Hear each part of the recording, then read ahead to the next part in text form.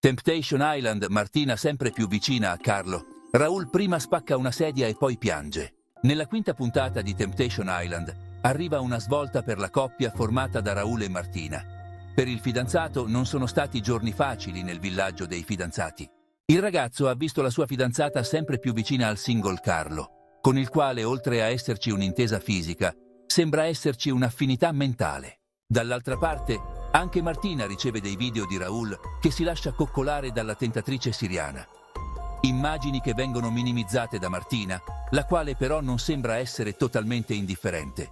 Queste coccole non le concepisco, non le accetto e non le perdono. Lo conosco, so che non è vero.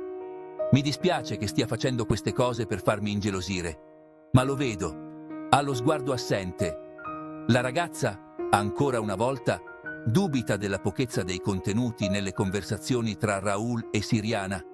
Lui ha delle carenze, dice, sfogandosi con le altre ragazze.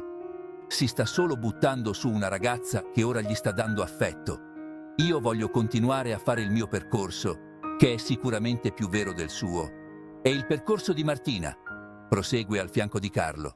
Filmati che mandano Raul su tutte le furie. Martina, infatti, sostiene di avere argomenti molto più profondi da affrontare con Carlo, di quelli che vive nella quotidianità con il proprio compagno.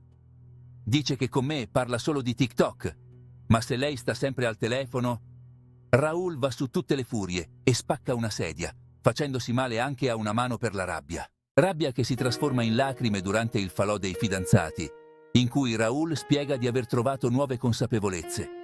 Mi sono reso conto di non essere io sbagliato, ma è lei a esserlo.